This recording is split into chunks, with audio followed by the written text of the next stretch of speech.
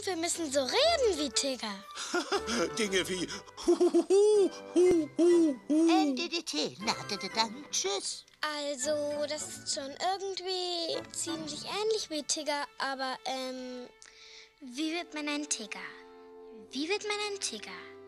Wie wird man ein Tiger? Na, was denkst du? Ah, erstmal muss man aussehen wie ein Tiger. Und klingen wie ein Tiger. Und tun, was ein Tiger tut. Wer die schwarzen Streifen am Po und im Gesicht den Schnurrbart trägt, hat vieles von dem, was einen Tiger prägt. Haha, zweifelsohne. Sagen wir doch ab und zu NDT und rufen Huhu, Huhu. Dann klingen wir noch tigerhafter im Nu. Oder? Genau nur so wird man ein Tiger, so wird man ein Tiger, so wird man ein Tiger, so klappt das gut. Man muss so aussehen wie ein Tiger und klingen wie ein Tiger und tun, was ein Tiger tut. Alles aus Versehen in Scherben hauen, dass es nur so knallt und kracht.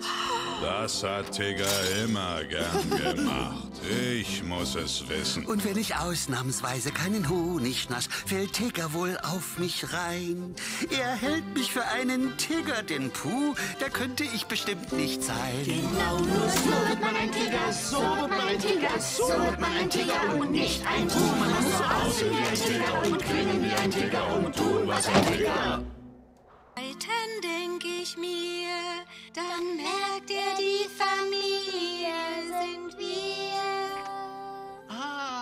mit ihm ist es so lustig.